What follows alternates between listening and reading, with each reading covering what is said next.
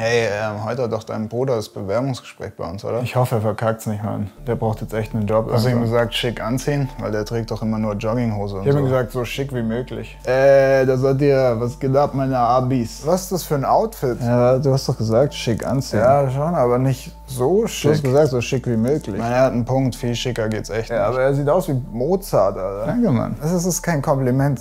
Das ist nicht 1750, Mann. Viele alte Sachen sind gerade wieder in. Hat er schon recht, ja. Ach shit, jetzt muss ein Wunder passieren oder so. So, die Herren, wo ist denn unser Bewerber? Hey, schöne Haare. Das ist anscheinend echt wieder hin.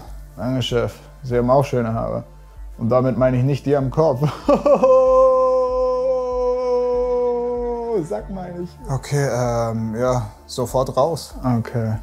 So kurz davor.